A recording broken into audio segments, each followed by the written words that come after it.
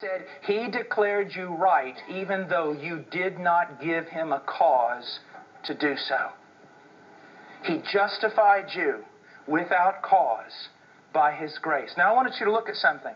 Most religions today, most religions, seek to answer only one question.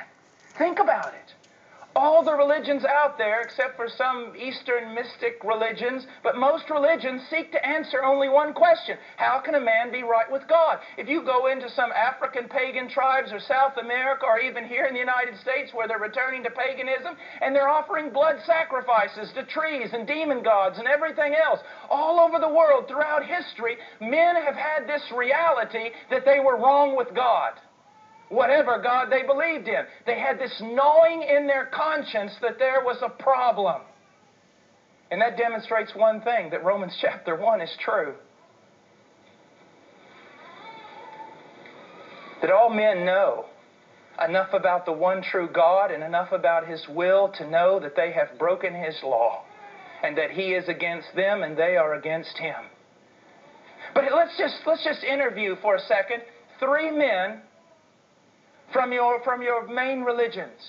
The reporter comes up to the, the Orthodox Jew and says, Sir, if you died right now, where would you go? Well, I'd go to paradise. Why? I love the law of God. I am a righteous man. I do good works.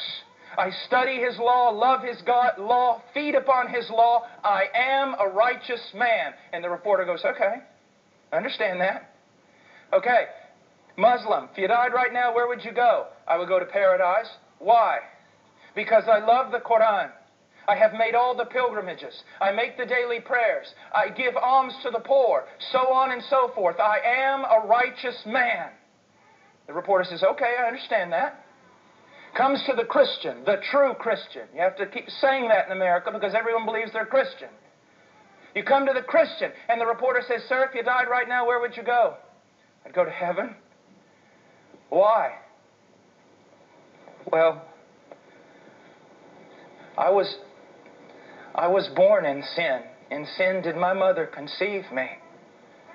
I have broken every law that God has ever given, thoroughly found unrighteous and lacking in merit and worth.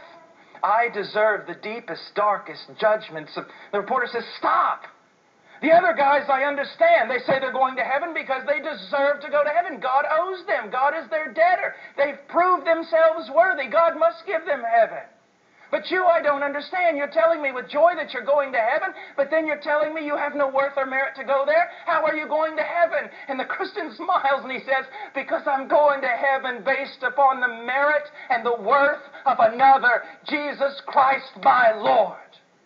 Now, of those three, who gives glory to God? And who gives glory to men? You see that? This is not about us. This is not about our morality and our goodness. This is about Him.